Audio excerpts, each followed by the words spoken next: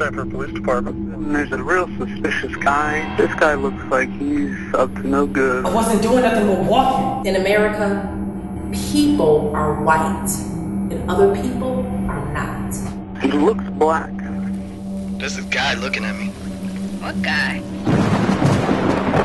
What if the boy won't confess? And I damn well will direct file, and there's a needle in his future.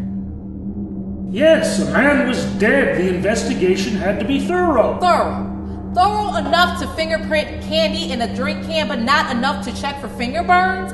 What you need to be asking is what kind of man George Zimmerman was. All rise. Court is now in session. The Honorable Judge Nora Westlake presiding.